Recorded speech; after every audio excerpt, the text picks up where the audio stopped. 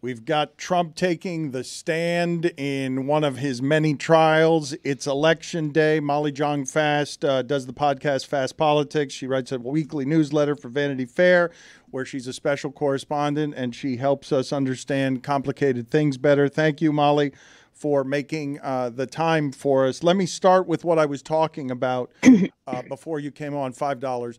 Can you tell us uh, what faith you have in polling, given what the last 10 years of polling have revealed? I think we should look back to the uh, 2022 red wave, which did not materialize. Uh, yeah, I don't have a huge faith in polling. Again, this was a poll, this big poll that got everyone hysterical from the New York Times.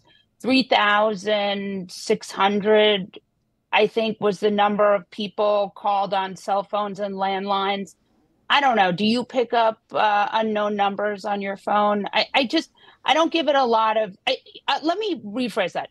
I think it's good to worry, and Democrats love to worry, and there's going to be a lot of good worrying going on in the next year. But I'm not. I do not think these polls uh, are something you could take to the bank. Can you please help me understand that? Because historically, a lot of people pay a lot of money for this information. And mm-hmm. until recently, this was information that you can trust. I don't know when that fell apart, how that fell apart. Did it fall apart because of the way that people answer their phone differently than they used to, or because they always lie when taking polls and they act differently when it comes time to vote? Well, I think it's an, I think you're right. Dan, and I think there are a number, I think there are a couple of factors that do add to this polling problem. And some of it is that people don't answer their phones, there aren't home phones, there isn't this culture of poll, you know, the, we used to have Nelson boxes, Nielsen boxes. I mean, we were in a different world where there was a lot of like, you know, you were a consumer, you gave data to companies in a very uh, deliberate way. Now you give data to companies in a very uh, undeliberate way. But um, the thing I would say about these polls is there are trend lines that are important to for the Biden administration and more importantly the Biden campaign to watch. And those trend lines are young voters, Hispanic voters, young black voters. Those are the voters that Democrats need to make sure that they are serving, that they are reaching out to. And that's stuff like student loan debt, and that stuff like you know greater accountability in government. I mean there you know there are things you can do to appeal to those voters. And i think biden has been trying to. Again you know it's early days but the trend lines i mean certainly like if you look at those polls this the nevada numbers nevada numbers the nevada the nevada numbers i don't know if i'm pronouncing it right those numbers are um those are bad numbers for biden. So that is certainly shows that he is not doing what he should be doing with younger Hispanic voters. Let me understand, though, beyond the polling, okay, how yeah. you can have 91 felony charges beyond the polling and have me thinking that I still think America might vote for this person. How is that possible? So Okay, so two things. One, Donald Trump, and I actually had Jon Karl on my podcast. We were just talking about this. Donald Trump has not gotten a lot of media scrutiny over the last year, and he hasn't gotten as much coverage. So we haven't seen, sure, we've seen the court cases, and sure, we've seen the situations around Trump get coverage, but we haven't seen so much of the sort of Trump on the stump stuff. And if you listen to that, you're pretty horrified. So I do think some of this is that he just hasn't been in the spotlight. I think when he's more in the spotlight, people will sort of remember a lot of the craziness. One of the things that's really clear, as I have watched a lot of Trump rallies, is that he's really lost a step.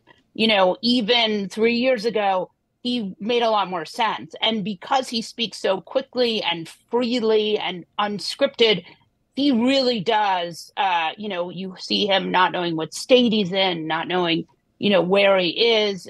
There's a lot of that kind of stuff, which you're if he's going to go after Biden for being old, that's not going to do well for him. Helping himself or hurting himself on the stand? I, that, I mean, again, he helps himself with primary voters because primary voters see the world the way he does. I'm not sure that screaming at a judge is going to help you when the judge is about to decide the penalty in your civil trial. For me, I would not scream at the judge who was deciding my fate, but that's just me.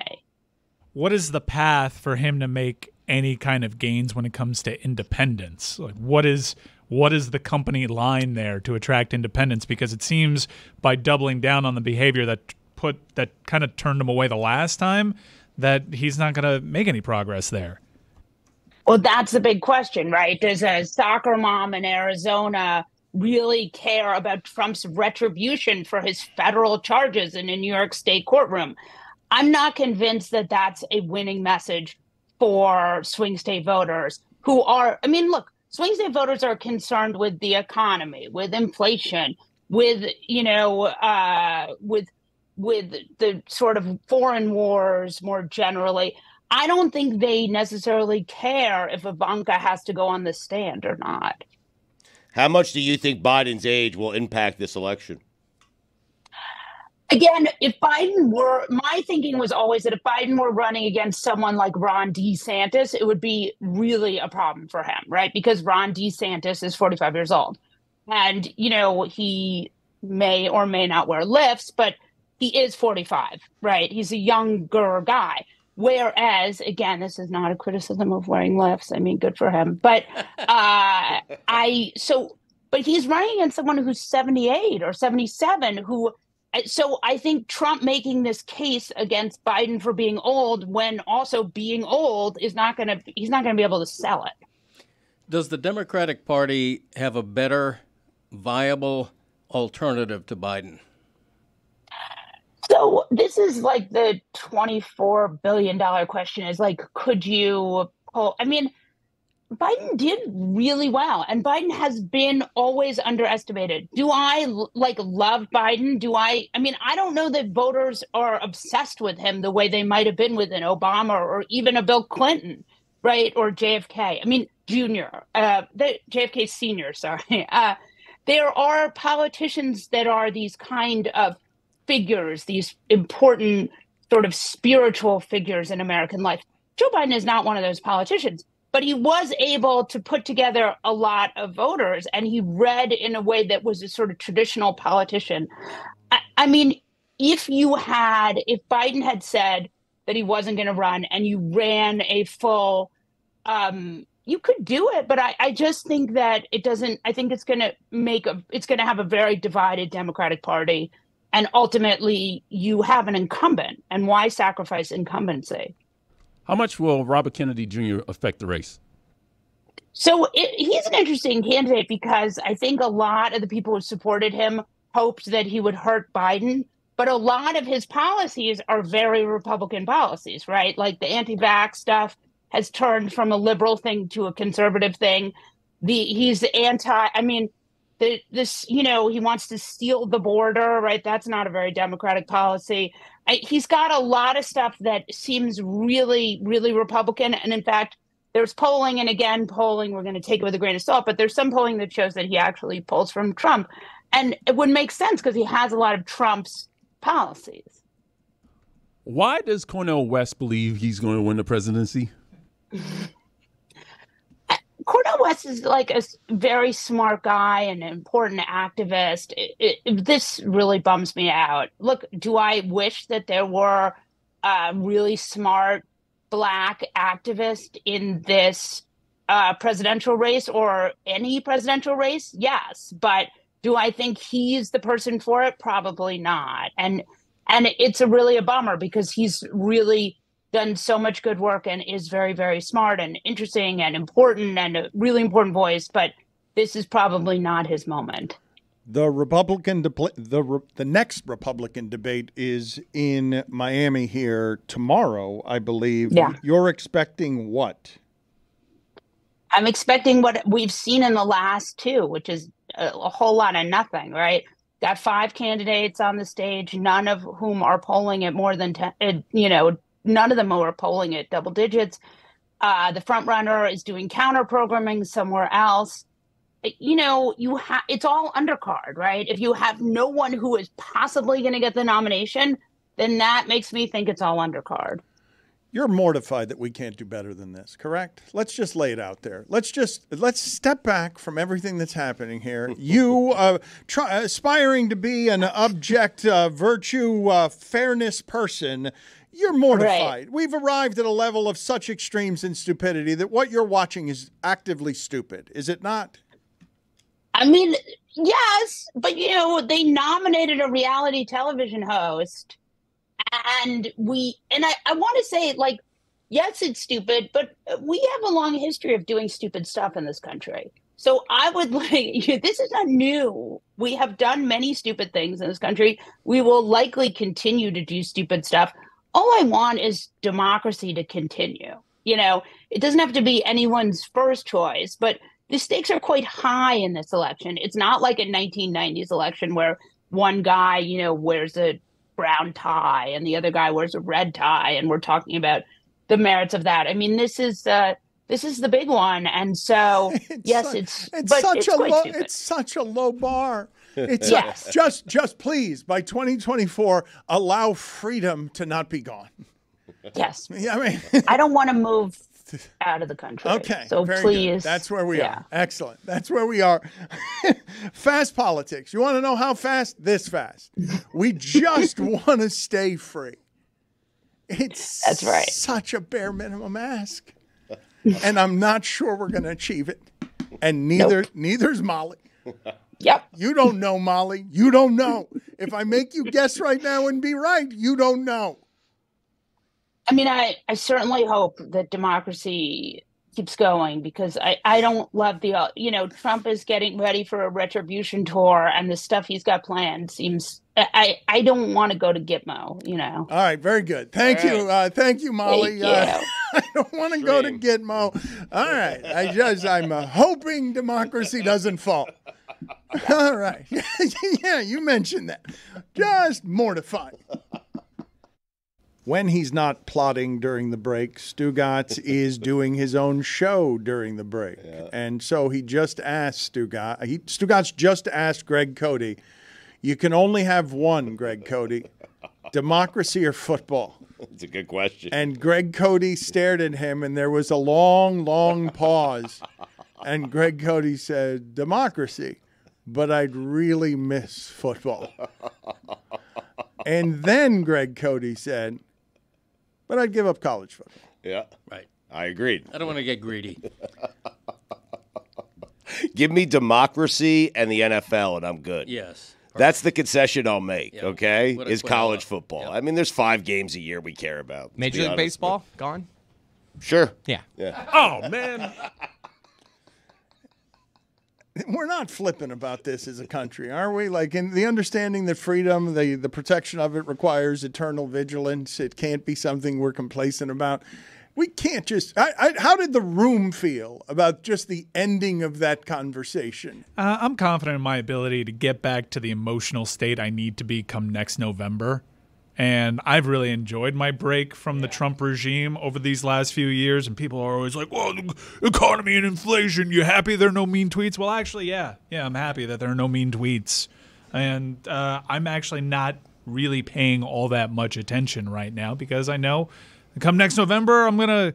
I'm gonna rile myself up to unhealthy mental places, and and I'll fear the fall of democracy and all these things, and knowing that I'll get there, knowing that it'll, it'll be like a bike. You're pacing yourself. It's I- like I it's load need to- management. It's load management I don't on need to entertain whether or not I need to give up Maction for freedom. I don't like it's. I understand the gravity of the situation. All right. I'm locked and loaded. I'm ready to vote. Uh, like I, if I could vote now, I would. What day is it? You oh, can today's vote. You can like- vote. Yeah, well, is no, no, this election one's not, not this election one. day. Well, this one- this one's not important. Today is election. No, It is no, no, election day. This one is also that's not that important. important. Okay. Actually, just go out there, get on and vote because fall of democracy and all that. But me, meanwhile, on the other side of the room, it's fear and depression. But it can be load management. It Yes. can it, it, it as you age and there's certain number of anxieties and mental strains in your daily life. You're allowed to. I I believe I asked Mike Ryan. Oh, I asked Mike Ryan the other day if he had seen the last week tonight on uh, that John Oliver did on the McKinsey Group that Adam McKay keeps referencing, like a truly, truly evil outfit. And Mike Ryan's response was, "World bad place going to watch cartoons." Yeah, Warner Brothers Animation. Oh, Yeah, yeah. wonderful. Injustice. Mm-hmm. Been on that Max app just watching all these DC cartoons. Something nice and light. I've been watching a lot of Leslie Nielsen lately, and it's been doing wonders for me. Just something nice and light as the world burns, Right. quite literally and figuratively. As What are you going to do about it? I mean, I'll vote next November. I'm with you though. Watch Or to- cartoons until or, then. or, yeah. to- or today, Yeah. or you can vote today. Yeah, nah, absentee. Today's not good for your Today schedule. doesn't work for me Today's important because though. it does, it's democracy on Is the it line. Stu? for What's today. important about I'm not voting, but I'm told it's tell- important. Tell me Yeah. why I'm not- today's so I'm not important. Bam out on of voting day. Bam Adebayo said you should vote. Yeah. Uh, 2020 and 10 got me considering it. You should, Is today the day we vote for the bats, or you should vote. Uh, go go out Early and vote often today, here in South and not early and often. And be careful with locked and loaded as uh, as verbs on on of all kinds. You know, it's a misnomer that they're coming to take guns. That's it's just they're not coming to take guns. They're coming to prevent guns. I don't want to have this conversation, but I would say, Stugotz, But it's an effective slogan, and we just like let it go unchecked. Kind of like how down here there's like, ah, Biden he's a socialist, and Biden's just like, well, but okay, your opinion. Let's get Respectfully disagree. I would take a respectfully disagree. See, you're trying to get me there. It's not going to happen. I'm going to watch my cartoons. it seems like he's trying to get off of Yeah, there. he is. I you was wanna stay trying. there, I right? was. I was trying to, and uh, yeah, then you mentioned guns, and I. I You did. went locked and loaded, and I, I, I took You went- exception to that. you went locked and You know what I loaded. like to see? I like to see Leslie Nielsen saddle up to the bar, say, "Give me the strongest thing you got," and the waiter pulls up with like a really oiled up beefcake. Yeah, speaking of guns, I want to see the naked gun with Leslie Nielsen. Now you talk. What was the story you sent me the other day that Leslie Nielsen, uh, he was a prodigious whoopee cushion user, and it is something I, I believe we can all use. I believe that that would soften simmering tensions in America if I just gave good whoopee if cushion? I give everybody just a whoopee cushion sound. I believe it's the original humor. I believe before there was speech, there was a cave person climbing up a, a tree and farted, and the other cave person laughed. I believe that's the original comedy. You don't think they were confused? It had its day though. It's not anymore. I mean, the, after an initial burst of confusion, where's that smell from? They can't talk. I do believe that laughter was the universal bridge that was crossed in whatever the original fart sound was, and no one used it to greater effect, I do not believe, than Leslie Nielsen, who traveled with a whoopee The cushion. story, as I recalled it, was like Leslie Nielsen played the long game with Priscilla Presley.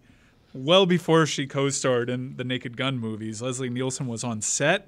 Well, she was uh, on set of a, an Elvis movie, and there was like a love scene, and it was making everybody uncomfortable. And Leslie Nielsen sees the moment to walk up to Priscilla Presley, hand her a business card, and say, "If you ever want to talk about it, let me know." And he let out a huge fart in that moment. Let out a huge fart. And as he walked away, that's when Priscilla Presley read the business card that said Leslie Nielsen because she didn't know who he was beforehand. Let's get to the stat of the day here. I've got one as well, uh, and I want to get to this video from the Bucks game that I've been trying to get to for two days. Uh, that a halftime shot that wins ten thousand dollars. But first, uh, let's go. Uh, let's go to the original thing that I wanted, please, Mike Ryan. The stat of the day. Start of the day, start of the day, it is the start of the day. Start of the day, start of the day, it is the start of the day. Start of the day, start of the day, it is the start of the day. Start of the day, start of the day, it is the start of the day.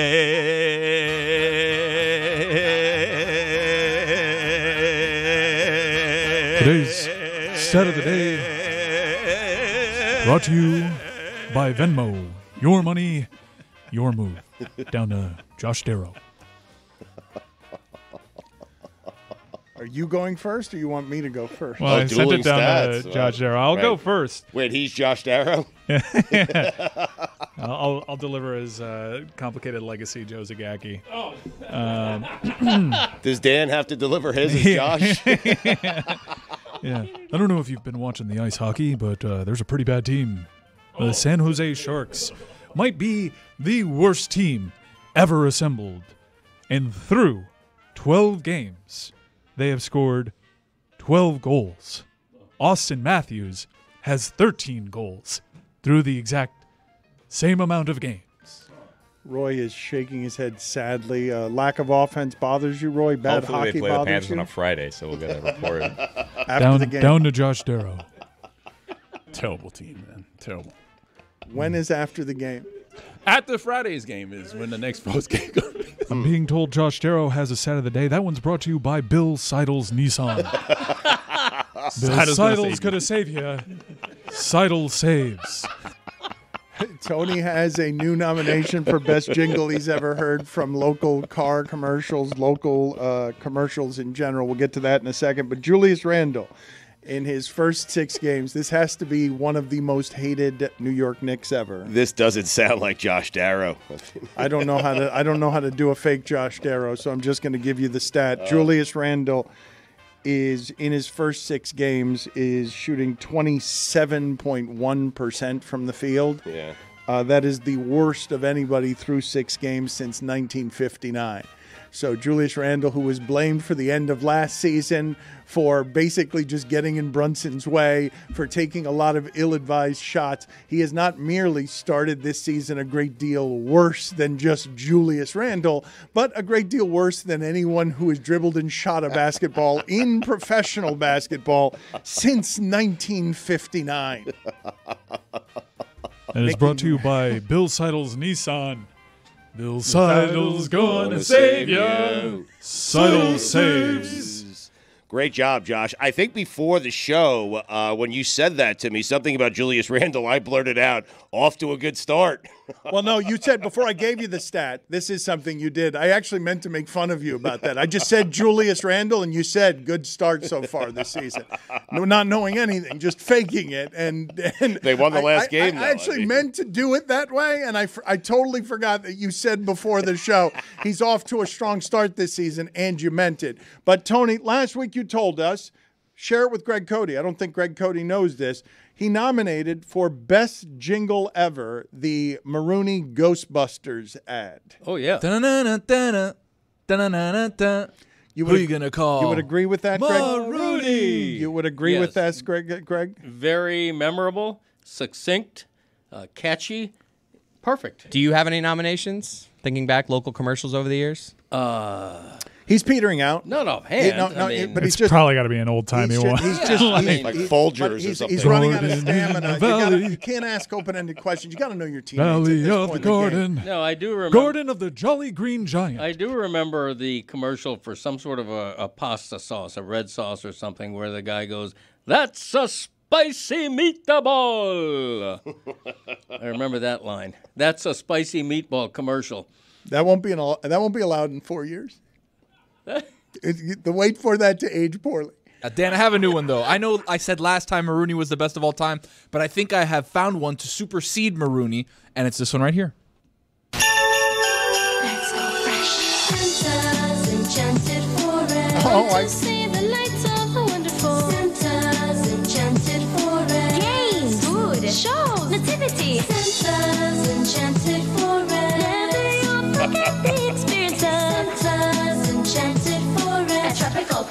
Palmetto and Bird Road. Santa's enchanted forest. Tony. All rights free. All right, free Dan. You have to take Lucy to Santa's Enchanted Forest. It is so very not enchanted. It's not on Palmetto and Bird Road anymore, which is a very important Really? distinction. Yeah. Wow. That was again one of the biggest hooks of the song is on Palmetto and Bird Road.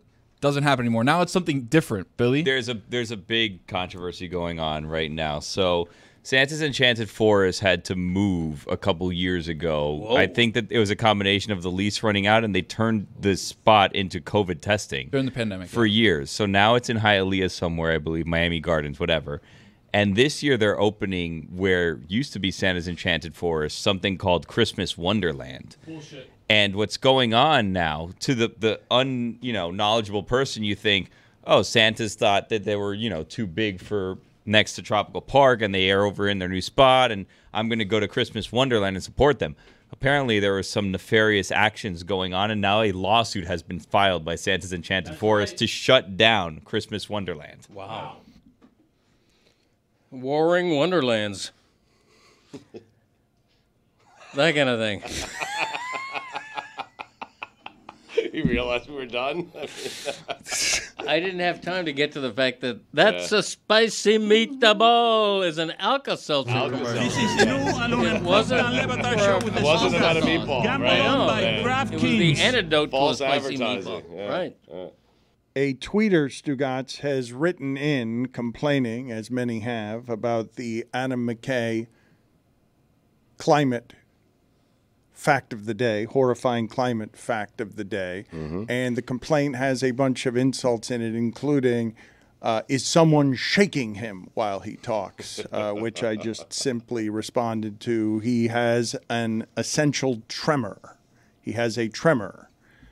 And the response is just, well, Proper response, I think. That is correct. That is the proper response. We have uh, some video that I want uh, to get to here because I've been wanting to get to it for a couple of days. And we have to go to the bucket of death. An assortment of us have to go to the bucket of death. But, Stugotz, how do you think you would react if you made a shot at half court during a game? I think these should be worth more than $10,000. I think the degree of difficulty on this, if you actually make it, this should be insured in a way that wins more money than this because it's really hard to make a shot from half court when you've got one try and everybody's watching. It's why they put it there. Yes. Uh, yeah, but I'm just saying, you don't think that should be worth more than that? It's halftime entertainment, and anytime something like this happens, it pays for itself in terms of what it is that you want, which is people to associate with your brand, a happiness and a joy that people come to sports to experience. I'd like it to be worth more, but I don't dictate that. Like, you know, it's a free crack at ten thousand dollars. You know, it's, it's worth the right amount. A lot of times it's just the in. It doesn't go. They don't all go viral. So it's like you need it to go viral for you to really Right. get your money's worth. Mm-hmm. But I think most of the times when these get made, it's some anything anybody can connect with the idea of you're an everyman. You get one chance. You you whatever it is you've been thinking about in your childhood, you get one chance, and then you actually make it, win ten thousand dollars. And if I gave you the choice of the ten thousand dollars or the feeling that you'll have for the rest of your life, if you had to choose between the two, my guess is that very little in life has ever given you that much instantaneous joy. Winning ten thousand dollars, making a shot from half court. So here in Milwaukee, you see this video, and it's wonderful. The reaction First is what night of the expect. in-season tournament, we've already had fireworks. How about this gentleman from half court for Where's he going? thousand dollars? Uh, he ran right through the tunnel, made the shot, great. ran off the court, didn't even want to stay on the court to bask in all the noise and the enthusiasm. Uh, makes it off of the backboard. Bank was open. I hope he called glass. There's probably a mountain of paperwork he has He should get more if he should did go call glass. There should there should be a bylaw that says you know you get like three if you hit glass. Dan, from what you were saying before, we're hearing back here that you want to have like a show half court shooting competition, ten grand forever whoever makes it. Oh, I'm in. Hmm. You kidding me? he wants it to be more though. I am Maybe in. three attempts each. Guy's foot was on the line. Disqualified. Can I just stop for a second? I want to freeze on what was chasing him through the tunnel. There was a referee with antlers. Is that a no or? It, same answer to you wanting uh, Captain Lee on Jimmy Johnson's. How's boat. that going? All right, two attempts each. Can we see the video of what was chasing him into the tunnel? Because that is a referee dressed as a buck in the background. I just I want. think it's a buck dressed as a referee. Fine. Backwards there. Yeah. Are you sure? I'm Yeah. not, I'm not totally yeah. sure. No, I'm, pre- I'm pretty sure that's on Joey Crawford dressed as a buck. well, I think that we need to. look, I think it's a that- normal that- buck no, that's a- that is no. That's a buck dressed as a referee. terrifying. A referee Wow. dressed as a buck. no, I'm think sure. that's I'm I think that's a Milwaukee sure. Bucks mascot putting on a referee striped shirt. Bingo. There was a real deer on his hind legs. You can't prove it. A real deer on his hind legs. That's remarkable. get the bucket of death music. Who's got to go to the bucket of death? A couple people won't be here later in the week when we do this properly. So uh, Billy, Greg Cote, and Stugotz will be going to the bucket of death, which is brought to you by KFC's new hot and spicy wings. Order an eight piece of the new hot and spicy wings for $4.99 at a participating KFC today. It's finger licking good. Somehow uh, we have like three or four different people who have the golden helmet of life, which makes no sense Thank you. whatsoever. It's not. You do not have it, Tony. I, I got it last week. You did not. Lucy got it last There was week. an update. Yep, Cheater. Got it. Yeah. Cheater. Cheater. very good. Yeah, It's in the absolutely. bucket. Uh, bucket. Billy is going to the bucket now. Is that the commander? It is the Commanders At the Seahawks. Seahawks. I'm gonna put that game. back. Six Yep. and a half point underdog. Sam Howell look good. Bad games, man. Tony, you are the lover of all quarterbacks. Thank All you. Average. No. Sam Howell does look good. dude. Thank He you. does. He does. He's he does. good. Yeah. Try to tell you early in the season. gamer. I got the Jags who are hosting the 49ers. Not much better. Ooh. That's one of two good games next week. Mm-hmm. Jags are a three point dog at home. All lines courtesy of DraftKings Sportsbook. Mm. Tony is someone who every single week falls in love with a quarterback who has gone 24 28 for 184 yards. Oh, Yeah, Levis. but yeah, but Howell's not doing that. He throws it down the field. He does. Throws it to Logan Thomas, plenty. Throws to anybody. Finding He everybody. He gets sacked He more gets than anyone. sacked a ton and he That's turns that's it over. not his fault. Right. I mean, it is kind of his fault. He holds on to the ball a, A good little long of time. sometimes, yeah. Rummaging. He's a gamer. Yeah, he is. He's a good quarterback. The Packers, Jordan Love, he's not good. I'm putting it back. I think They're a They're three a bye. point dog at Oh. Kenny Pickett Steelers. Oh no, no, no, no. Steelers. Are they still Kenny Pickett Steelers? Wasn't he benched? Nope. Oh, that's the football expert for the Miami Herald, Yeah, Greg Cote, consults an imaginary bird for his picks every thank week. you. And not doing very well with Sam that Howell bird, has by the 10 turnovers this season. And they don't know what Oh, they're I talking mean, about. They come just, on. They He gets just, pressure more than any quarterback just in the ru- NFL. He just runs around and they What do you don't know the what they're Saints? talking I got the about. Saints. Oh. Yeah, yeah. Saints Sorry. at Vikings. Oh, Josh Dobbs. Oh no. You're a two and a half point favorite on the road. Can I get a good team, please? there aren't any. I know. Dad, Stugotz already, Stugotz already has the rummage thing. That's his. You Who's on a to- bye week? There's four teams on a Oh, bye. the Colts. The Dolphins, Chiefs, Rams, and Eagles are on the bye. Colts are at the Keep the Patriots, Colts, yeah. but the Patriots are at Frankfurt. So this game is in Germany. It's a Sunday morning game. That's good. And your Colts Two-point are a favorite. two point favorite. All bets are off. back. though. Yeah. Really? Yeah, all bets. Wow. are That's a keeper. Patriots stink. I agree. Denver, for the love of At Bills, Monday Night Football. Oh no! Yeah. Are the Bills good? That's I what this thing's supposed to do. The Bills are No good. idea. What do you mean? You know that the I Bills are good. You they're might not trust them. They lost to the Jets. Uh, that was a good bucket. so did the That was a Eagles. Bad choice I made.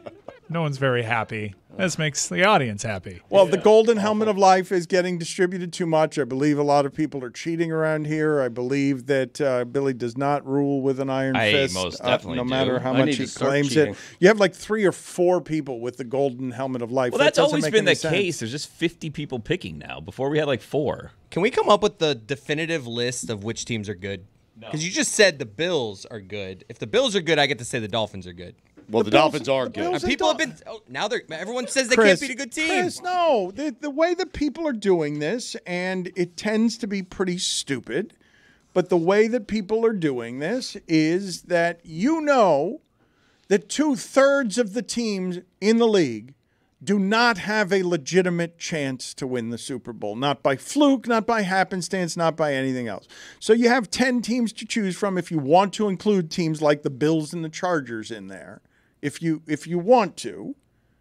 And I think that while you might not trust the Bills, you've certainly seen enough the last few seasons to know that if Josh Allen doesn't turn the ball over, even if they're in a depreciated state, they're one of the best teams in football. You know this. You have a sample size that extends beyond this year, so they might regress this year. They might not be as good as they are the last couple of years. The Bengals might not be as good as they've been the last couple of years. The Chiefs might not be as good offensively as they've been the last couple of years, but you know that there are eight to 10 teams that can win the Super Bowl. And if they are healthy, San Francisco is one of them. If they are healthy, Philadelphia is one of them. The teams that are six and two, the teams that are six and three, The Lions. Those are the teams you look at, and then you don't trust teams like Seattle. You don't believe in teams like Seattle who can't convert third downs and can't go on the road and do anything. You don't even totally trust Baltimore because you've seen what Lamar Jackson has been in the playoffs, and you might not totally trust that, even though their uh, their their play is very physical at the line of scrimmage. They look a little bit like Philadelphia in terms of being a team that manhandles other teams, even Seattle and Detroit physically up front. But what are you doing with Josh Allen? Because he's never done it. Like he had the game against Kansas City, they lost that game. He's never advanced far in the playoffs. Do you or do you not remember that the last couple of years the Bills are playing important games in a way that they're favored to win them? Yeah, and losing the, them. Bengals have derailed them. He's made it far in the playoffs. You made it to a conference championship game, or did you forget one of the greatest games? we've So ever is seen? Lamar, though. I'm saying, as it relates to Lamar Jackson, he's made it to a conference championship, hasn't he? No, Lamar No? Lamar Jackson has not been When? someone who has carried teams during the was hoping. postseason. No, you were just guessing. And Josh Allen was what 13 seconds away. 13 seconds from Mahomes to Kelce away. Too much time. we we uh, we agree. Man, come on. We're not in agreement that the Bills the last few years are a legitimate contender. We're not in agreement on that. Yeah, but their window's closing. I think. I think the Bills were better They're a last year. game behind the Dolphins, and they won by four touchdowns when they Right. played them. No, I get all that. That window, it's closing. They have been getting more and more hurt since then. They got a lot of injuries. I like Baltimore better than I like Jacksonville. Best abilities, Don't, availability. don't underestimate the Well uh, said. the Ravens. The Crows are going to be there. Watch watch it. The crow. is a different bird. You can't call one bird by a different name. That's such Yeah. a I lame. can. That, this No, is I how he can. peters out. Watch it. Like the Well, crows. you can he- call them the birds, he- and that's fine. this is all he's got left at the end of a show. He calls the Ravens a different kind of bird, and then his bold prediction is watch it. Watch it. I mean, you're you're the one disrespecting uh, Lamar Jackson, uh, an all-time Lobo. Yep. You know, you don't Tell 'em. disrespect L. Jack. Believe Yep. me. I mean, he's going to be right there. He also referenced a commercial from 1969. So Do we have that? Do we have that commercial? Let's play that. Uh, he was defending himself, saying it's an Alka Seltzer commercial. Alka-Seltzer can help unstuff you, relieve the acid indigestion, and help make you your old self again. Mamma mia, that's a spicy meatball. I don't know. About that. Cut. that guy is not Italian. Great commercial. That is a fake accent that somehow disemboweled an oven.